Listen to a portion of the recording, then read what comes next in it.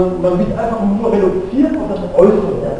Ne? Und das kann ja dann auch nicht sein, sondern es ist ja auch sehr wichtig, dass man, äh, sagen wir mal, sich darüber definiert, ähm, welche Meinung man auch hat. Nicht nur, dass man sich sagt, ach, der sieht ja so und so aus, deswegen muss ich dann irgendwie auch seine Meinung vertreten, weil er ist ja stärker, ist, ist ja auch stärker als ich und so weiter. Also das, das kann es ja dann äh, auch nicht sein.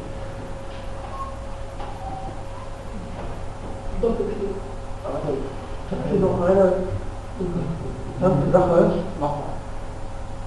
Ihr kennt ja zum Beispiel das hier. Das sind solche Bücher, die ich auch gefunden habe. Im Internet zum Beispiel gibt es sehr viel Synthonöl, da gibt es welche, die sich dann die Muskulatur dann aufspritzen und so. Also davon kann ich wirklich nur sowieso abraten, sich zu sagen, ich gehe ins Internet rein und äh, da werde ich dann das eine oder andere da irgendwie bestellen. Nee, das Also, äh, ja, äh, haben Sie auch nur die Medikamente drin oder haben Sie auch nicht?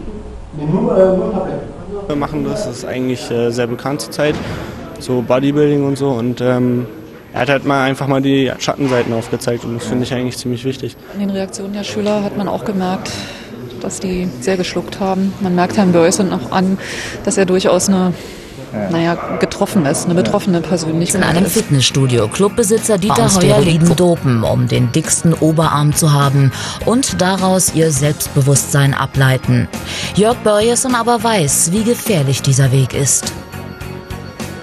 Jörg Börjesson ist gestern nach seinem Vortrag nicht wieder zurückgefahren, sondern in Berlin geblieben, um uns einige Fragen zu beantworten. Guten Morgen. Schönen guten Morgen. Und äh, wir sehen die ganzen Resonanzen, die ich hier erfahre, auch von jungen Mädchen, die Probleme beschäftigt. Und äh, dass ich da selber Missbrauch im, im Bereich Medikamente da äh, gemacht habe, wurde mir ja erstmal nach, nach Jahren erstmal so richtig klar. Weil ich habe die Sachen nicht vom einen dreckigen Dealer von der Straße bekommen. Da Weil, sehen wir die Bilder ja, von Ihnen das, früher. Das ist Wahnsinn, ne? das ist schon unglaublich.